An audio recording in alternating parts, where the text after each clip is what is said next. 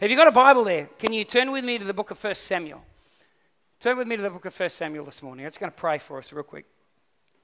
Lord, I just pray right now, Father, would you just open our ears to hear something that you want to say to us, open our eyes to see something we haven't seen. Lord, open our hearts, God. Would you challenge us this morning? God, would you uh, take us another step further on our journey of being disciples, Lord? God, bring into our world right now whatever it is that you want to bring through this word. Speak to each person here in a language they would understand. We pray in Jesus' name. Amen. Amen. 1 Samuel chapter 17, we've got a story here about a great man of God um, and a great exploit, a great thing. And, and it doesn't matter whether you've been around church for 80, 90 years or whether you've maybe just gone to Sunday school, I'll guarantee that every single one of us have heard about the story of David and Goliath. All of us would have heard the story about David and Goliath. I've been thinking about this story for a couple of months now. It's just been sort of sitting in the back of my mind, and I go back and I have a bit of a look at it and read it. And there's something in the story that has really stood out to me recently.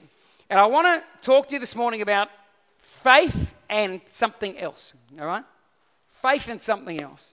And the story is a very simple one. We all know that, that David's brothers go out to war and they're fighting in the army, and Saul's the king. They're fighting against the Philistines. And uh, David's father sends him out and says, Take some food out there and find out what's going on and come back and just give me word. Let me know that the, the boys are doing okay. And so David um, leaves his sheep. He's, he's, he's, shepherding sheep. He leaves the sheep, gets his food, runs out to the battlefield, and he, he goes out. And when he gets out there, there's this standoff, Mexican standoff type situation happening between the Philistines and the Jews. And David, being a little bit of a, I guess, a, his brothers would, would think he was a pesky, annoying. Anyone got a little brother? Anyone? Anyone? Anyone want to be honest? And th- your little brother can be. Yeah, okay, Michael, put your hand down, Michael. I got the point. Um, I got a little brother. And that little brother, oh, they want to be in everything and involved in everything. And maybe that's what the older boys thought of David, that he was just trying to poke his nose into business that was not his own. Anyone here a younger brother? Is anyone here who is the younger brother? Ah, that makes sense. Okay. Uh, yeah, I can believe that you were the younger brother, actually, Rod. That's, yes. Wow, you know what? A lot of things are dropping for me. Thank you, Lord. Pennies, things are making sense, taking shape that I didn't think of before. Awesome. And so David's there and he's poking around and he, he, he wants to find out what is going on. And a soldier says, Well, here's the deal. There's, there's a, you know, the Philistines have got this big dude called Goliath. And what they're challenging is just, let's just do a one on one sort of cage fight here between Goliath and you send out your best soldier and they can battle it out. And whoever wins is the winner. And whoever loses, obviously, you'll become subservient to that nation. And so David hears this, and his brothers are a bit, you know, go home, what are you doing here? But David hears this, and something rises up on the inside of him.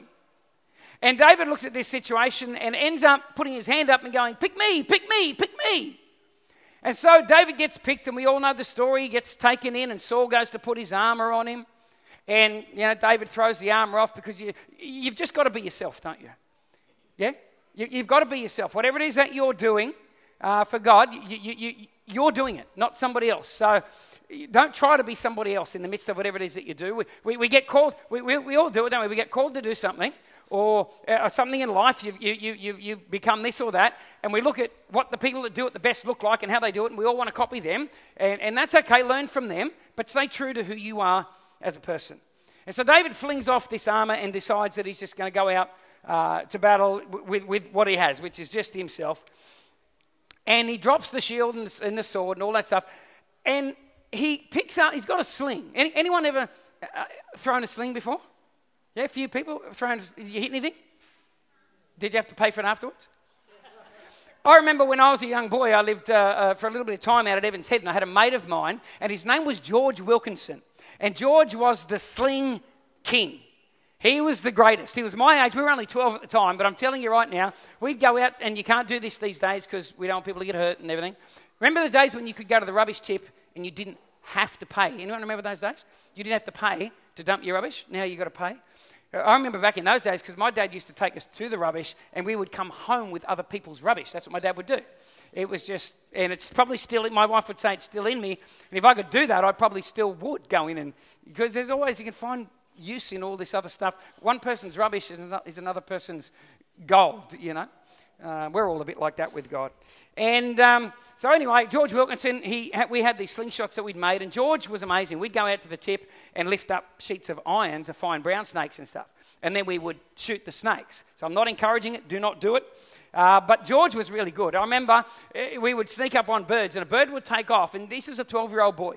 And George would get his stone in his, in his slingshot, pull it back, and he would just go, bang and he'd hit the poor bird in the belly as it was flying. He was amazing. I've never seen anybody that was such a good shot. He's probably the closest person I know to David when I read about David and this amazing feat of hitting this guy, Goliath, with a stone. But it says in 1 Samuel 17:40, as David has made the decision that he's going to go out and he's going to fight, he's decided this is what I'm going to do. And here's what he does just on his way towards uh, taking on Goliath. It says, Then he took his staff in his hand, he chose five smooth stones from the stream he put them in the pouch of his shepherd's bag, and with his sling in his hand, he approached the Philistine. Now, how many of you know that David is a great man of faith? We know that, don't we? Because we go on, and, and at this point, whoever's there live at this event doesn't know what's going to happen in David's life. Right? Right now, they're living this moment. So they don't know what David's going to become. Just like you don't know what your children are going to become right now if they're this big. You can have dreams and visions and thoughts, but you don't know what they're going to become. And so here's David at this point, but we know he's going to go on to be a great man of faith. But it kind of starts here. We know that David had great faith even here. Go back a couple of verses, verse 34 to 36, and it says this. It says, But David said to Saul, this is when Saul's trying to, to, to say, you know, you up for this and so on. He says this, he says, Your servant, as in me, David, I've been keeping my father's sheep when a lion or a bear came and carried off a sheep from the flock. I went after it, I struck it, and I rescued the sheep from its mouth. And when it turned on me, I seized it by its hair, I struck it, and I killed it. Your servant has killed both the lion and the bear. And this uncircumcised Philistine will be like one of them because he's defied the armies of the living God. In other words, this guy has no covenant relationship. Remember in the Old Testament, God had a, a, a covenant, a, a relationship with a nation. In the new covenant, it's different. God has a relationship with anyone from any nation that chooses to accept the sacrifice of Jesus Christ. So we're talking two different agreements between God and man. But under this agreement, what David was saying was hey, we are the people that have this relationship with you. This guy doesn't. How dare he come up against you? He, he said, You're not just coming up against the Jewish army. He said, You're coming up, the Israeli army, you're coming up against God. And so, because of that, I know this. When you come up against God, you don't win. I know this. I've got enough faith to know this that if, if you want to take on God, you are going to lose. This is what he's saying. And with that, from that standpoint, he says, I am representing God. So I have great faith that I know who's going to come out on top in this battle. So David has great, great faith. But here's the question even though David was full of faith, he still felt the need to grab five stones. Here's this man full of faith. I'm going to kill this giant. But when he goes to the stream, it, it's very clear that David felt the need to grab five stones. Now, if you pick up Bible commentaries and, and research and so on, why five stones? And this is my question today why five stones? Well, here are some of the reasons I've come across. Um, one of them was that five stones represented the personal habits by which David defeated Goliath. I just can't imagine Goliath bend, David bending down at the stream going, There's Goliath. My heart's palpitating out of my chest. I'm going up against that really, really big, strong, trained guy. I'm going to bend down and I'm going to go, Geez, what were the five habits that are. I'm going to take a stone for each of the habits that have got me to this point in my life. It's a great sentiment, and maybe there's a great teaching out of that. I just can't imagine if I'm David in that moment, I'm not bending down to pick up them stones thinking, I'm going to take one for every good habit I have. It's not going to cross my mind in real time anyway. The other reason, another reason I came across was the five stones were for Goliath's four brothers. The Goliath had four brothers. And if Goliath was taken out, then his brothers might be really, really annoyed at that. And so they're going to come charging. So he's going to go stone number two, number three, number four, number five.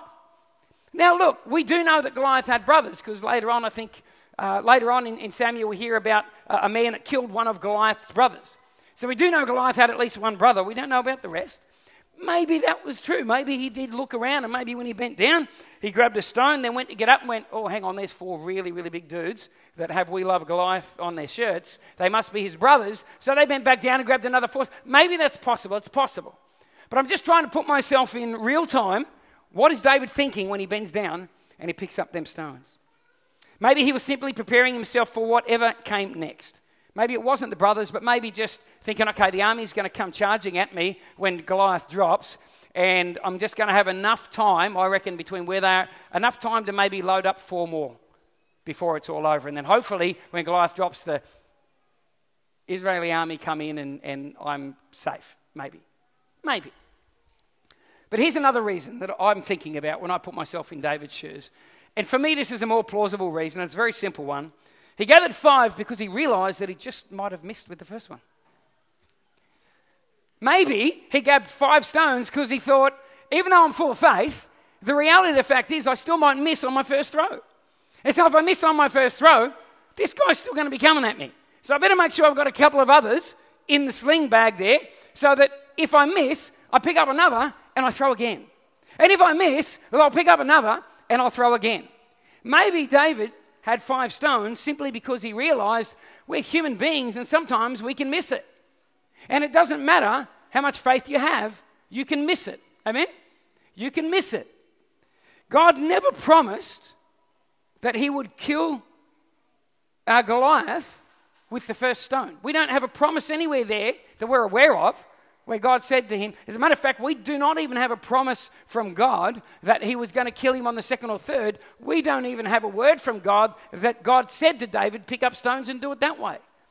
We don't know. There's a lot of things about this story that we simply don't know. But what we do know is that this man of faith who had already said, I know, I know Goliath's going to go down, felt the need to pick up five stones. And I think maybe because he realized that even with faith, you can miss it. And when you miss it, what do you do? Well, you load up another stone and you throw again. You load up another stone and you go again. God never promised He'd kill him with the first stone, never promised He'd kill him with a stone. And here's the reality for you and me today God never promises us that we'll get everything we want.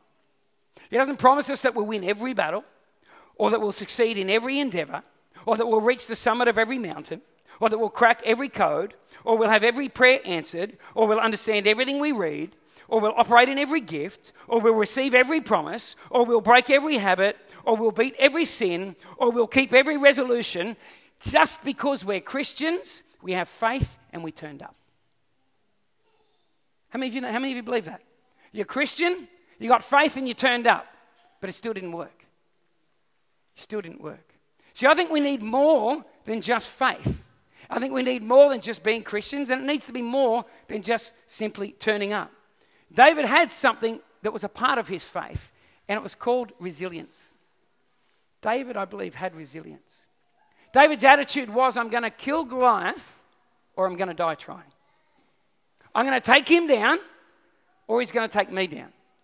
But if I miss with the first stone, I'm not going to sit there and cry about it. I'm not going to throw in the towel. I'm not going to tweak God's word to fit my situation. I'm going to load up another stone. I'm just going to throw again. And if I miss the second time, you know what I'm going to do? I'm going to pull out another stone and I'm going to go again and again and again. David had a great spirit of resilience. David was a resilient person with a capacity to just keep on going. Anyone seen um, Finding Nemo? You know that? Yep. Nemo, like that, not, not, Dory. Dory's one of the most resilient characters in the history of TV. Just keep swimming, just keep swimming, just keep swimming, swimming, swimming. Didn't matter what happened to Dory. Forget this setback problem. Dory forgot it real quick and just kept swimming, just kept swimming. Dory was like David. Dory would just pick up another stone, put it in the flipper, and just flip another stone out and get on with life. Dory wasn't going to be held back. But David's attitude was that if I miss the first time, I'll just have another go. And then another one, then another one. What an amazing attitude to have. You see, it's not enough for us just to have faith. Faith's amazing and faith is important. And without faith, we can't please God. But we need to have resilience alongside of our faith if we really want to be who we're meant to be and do what we're meant to do. If we really want to make a difference in our generation, in our communities, in our time, it's going to take more than just turning up, being a Christian, and having faith. You are going to have to develop resilience in your Christian life if you are going to do the things God wants you to do and be the person God wants you to be. You see, a great life with God requires more than just faith, you need to have a resilient spirit. Who remembers when their first child was born? Anyone with kids? When, when, your first child is born, right? I remember when we first had Caleb. I was under the impression, now I know scientifically this is impossible, right? I know, I, I understand enough about biology to know that this is not true. But this is what I thought. I dead set thought that Caleb was actually made of porcelain. I thought he was made of porcelain. I didn't want to drop him, bump him, didn't want him to get hurt. You, you, you walk around like that first child is made of porcelain because you think that the slightest bit of impact or the slightest bit of misadventure and this kid is going to crack like dropping a coffee cup on a tiled floor. How many of you had more than one child? By the time I got to Chloe, child number four, I'd come to the conclusion my children aren't made of porcelain, they're made of rubber. Because they just, doesn't matter what happens, guess what? They get up and life goes on. They break an arm, it heals, life goes on. They get disappointment, they get over it, life goes on. Life just keeps on going. They, like Dory, for some capacity and somehow manage to just keep swimming, keep swimming, keep swimming. And I think each of us need to ask ourselves the question are we like porcelain? Well, when we hit a disappointment, do we just break? Do we just give up? If we get defeated, do we just throw the towel in? If it doesn't work the first time, do we just stop? If we don't get what we want, do we just bow to it? Or are we like rubber? If I was to throw a rubber ball against that wall, what would it do? It'd bounce back, wouldn't it? If I threw a coffee cup against that wall, what would it do? It's just going to shatter and smash into a million pieces. We need to be like rubber. We need to be the kind of people that have the capacity to bounce back, and that's what resilience is. Resilience is about bouncing back. In fact, I found an article in uh, Positive Psychology in January 2019, and they said this about bounce back. It said, Bounce back is what we do when we face disappointment, defeat, and failure. But instead of wallowing or letting these things keep us down, we get back up and continue on with our lives. We get back up and we continue moving forward with our lives. What's Proverbs 24, verse 16 says this it says, For though the righteous fall seven times, look at that. For though the righteous fall seven times, they rise again. But the wicked stumble when calamity strikes. Anyone notice the seven times bit? Who falls seven times? The righteous. The righteous fall seven times. Let me tell you something. You are either on the ground right now and you need to get back up, or you've just got back up, but you're going to fall again.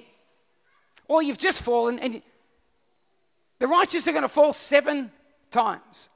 In other words, don't look at someone just because they got defeated or disappointed or fell down and wipe them and think that, that, that it's a reflection of faith. It's not. People full of faith will fall, the righteous will fall. But the difference between a righteous person when they fall and what he's saying here, a wicked person when they fall, is the righteous people get back up. You ever heard the term get back on the horse? I remember years and years ago, uh, my wife uh, uh, borrow, uh, uh, took our car. We just bought this. Anyone, anyone have a Magna? We had an early model. Yeah, I know, I know. I just I didn't want to pull that face till someone, no one knew no one had one. Anyone got a Magna? No. Good. Anyway, we had an early model Magna, right?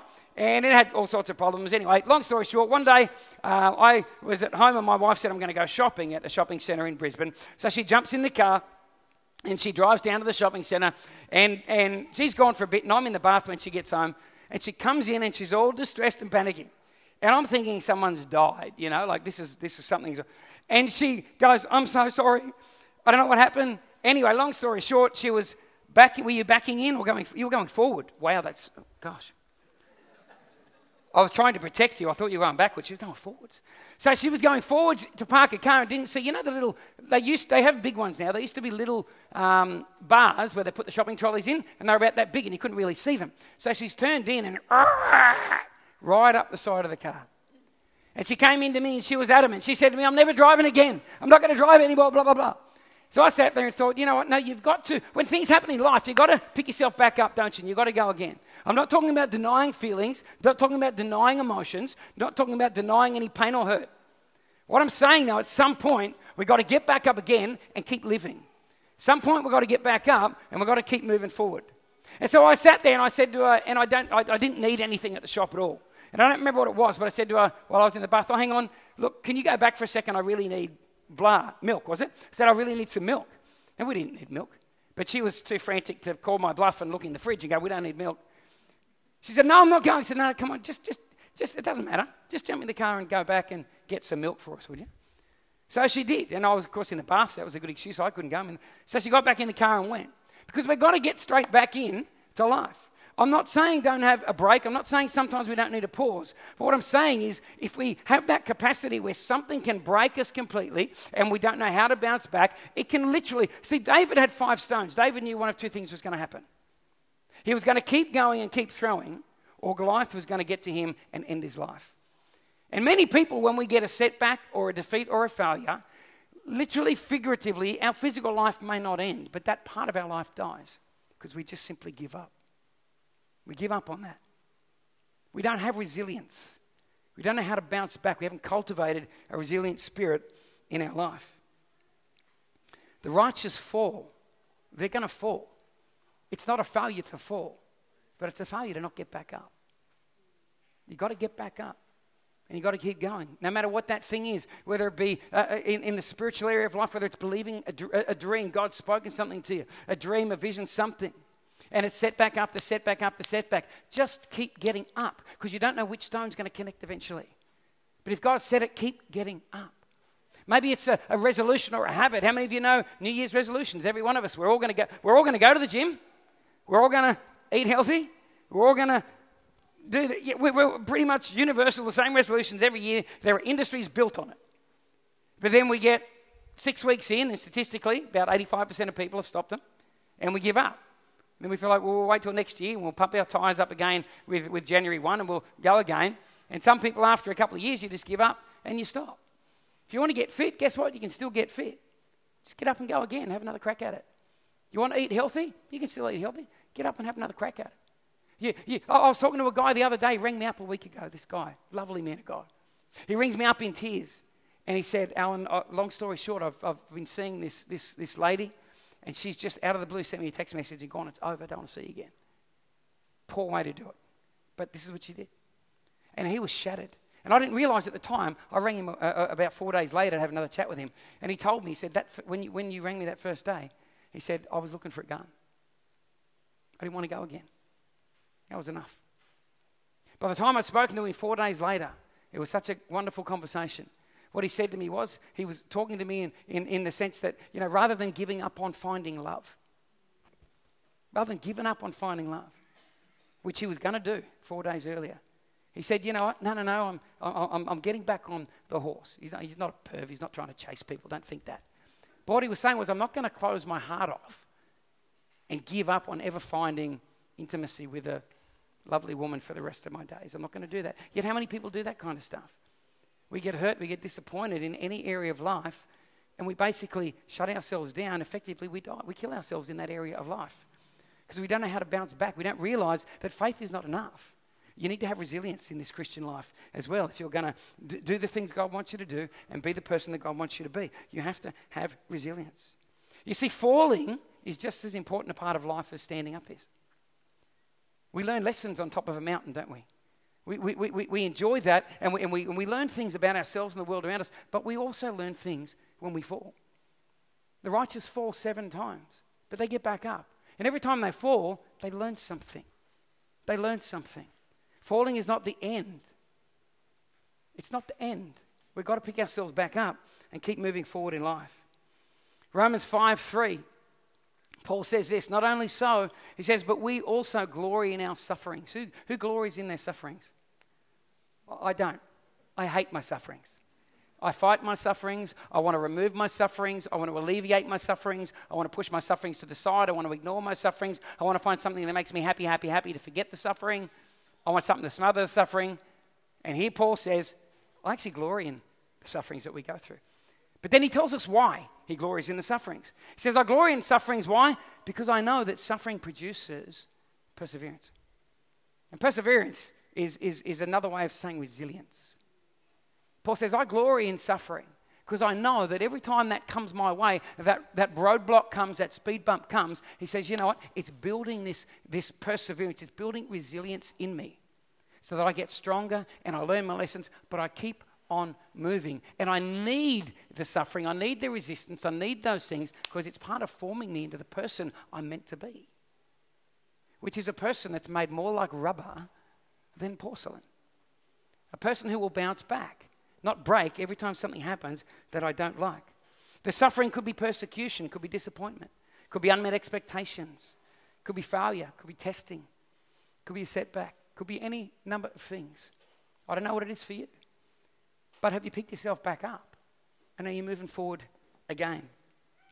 These things that happen are meant to produce forward momentum in our lives. This is what Paul's saying. So that, that the sufferings produce perseverance, resilience. In other words, the sufferings are things that are meant to keep me moving forward, not stop me in my tracks.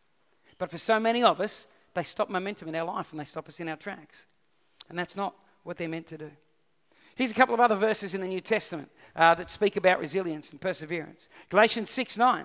It says, Let us not give up, let us not become weary in doing good. For at the proper time, we'll reap a harvest. When?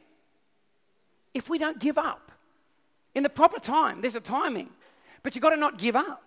So if you're going to give up, guess what? You, you may not get it. Unresilient people miss out on their harvest. We give up. Paul says, you know, you'll reap a harvest, but he says there's a condition. You just got to keep going. You've got to just keep swimming, keep swimming, get up, pick up another stone, try again, pick up another stone, try again. Don't bow to it, don't give into it, keep moving. Unresilient people miss out on their harvest.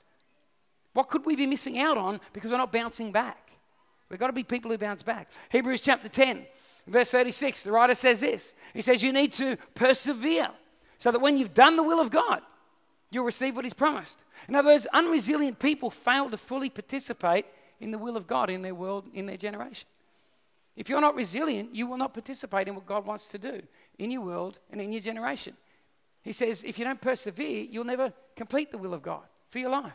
Because there will be setbacks and there will be resistance. It is a part of life, and it's a normal part of life. And just because we're Christian, we have faith and we turn up, doesn't mean that they won't stand in front of us. They do. It's part and parcel. 2 Peter 1 6. Peter's listing these things, saying that as believers, these are things that we should be adding and bringing into our world. And lo and behold, he says that one of those things add to knowledge, self control, self control, perseverance.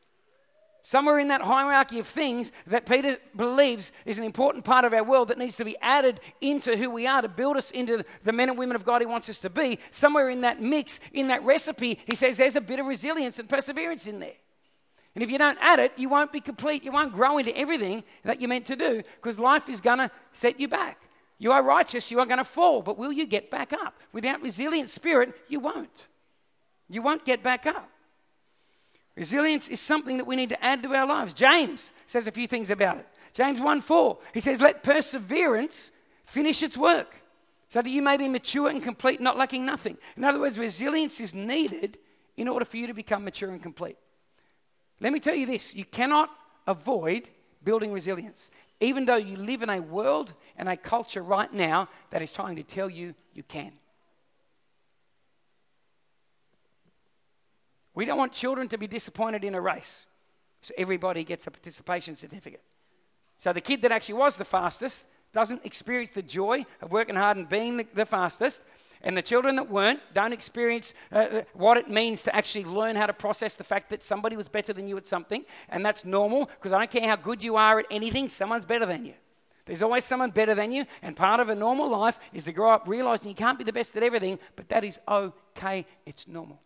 So everyone gets a participation thing. We're trying to legislate now in the world anything that, that makes you feel disappointed. We're, we're coming up with laws so that you don't feel disappointed. We're going to come up with a law so this kind of person doesn't feel hurt. Come up with a law so this kind of person doesn't feel rejected. We are trying to legislate resilience out of the world. And what's going to happen is one day we're going to get to a point where we've got a world full of people who are unresilient. And what do you think it's going to look like then? Here's what I think the culture and season we live in right now, what a great opportunity.